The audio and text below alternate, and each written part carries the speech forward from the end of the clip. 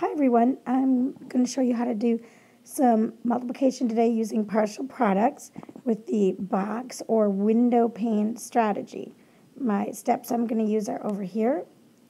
And to start with, I need a problem that we're going to use. So let's do uh, 42 times 35. Okay, so we're going to do 42 times 35. If I look over here at my notes, the first thing I need to do is draw my box. So I'm going to choose a different color real quick, and I'm going to draw my box or my window pane.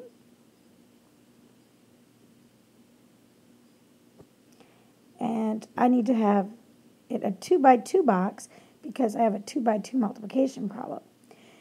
Next thing I'm going to do is I'm going to write my problem in expanded form on my actual, on the box over here. So I look at this 4. This 4 is not really a 4. This 4 really stands for 40, and the 2 stands for 2. So I have four tens and two ones.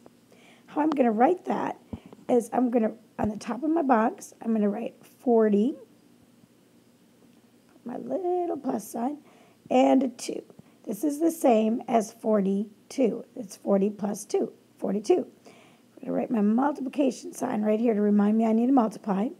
Now I'm going to come and look at my 35. On my 35, I have three tens and five ones. So in expanded form, three tens would be 30 and five ones would be 5. On my box, I'm writing 30 here, little plus sign, and 5 right here. So we have 35 and 42, and we're going to multiply them together. Okay, I've written my expanded form and I have drawn my box. Now I'm going to cross multiply. And when we cross multiply, all we're doing on here is we're taking this 40, multiplying with the 30, and the answer goes here. 30 with the 2, and the answer goes here. 5 with the 40, the answer goes here. 5 with the 2, and that product goes here. So there's going to be a separate product in each one of these boxes. So we have four products, or partial products, and then we're going to put them all together. Okay, we are going to look at this. We've got 40 times 30, or 30 times 40. That's bigs, but we don't have to worry about these zeros just yet. We know that 30, or th I'm sorry, 3 times 4 is 12. But I have two zeros that I didn't take care of.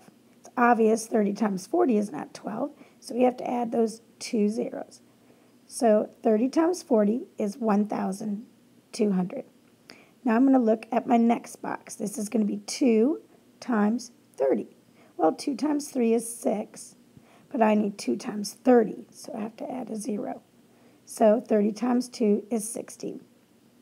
Now I'm in this box right here. This box is going to be 40 times 5.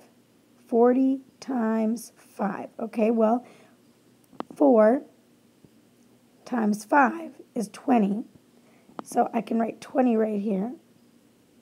But I need 40 times 5. So that's got to be 200. And then this last box here, this is easy. 5 times 2, a plain old 10. All right, so now I just add up everything that is in these boxes. So we're going to do that. I forgot to check off my little step that I did, my cross multiply. Now I'm going to add up the products. You can go either direction. You can add over here or you can add down on the bottom. Okay, so I'm going to go ahead and I'm going to erase these because that might confuse you. I didn't need to do that. Okay, I'm going to go ahead and add going up and down the vertical way. And when I add this, I'll use a different color for you. We'll use orange. I have 1,200 plus 200 would be 1,400. Okay, then I have 60 plus 10, that's 70. Now I just add 1,400 plus 70, and that is 1,470. That is my answer. We did it. So what 42 times 35 is 1,470. 70. That's it. Good luck.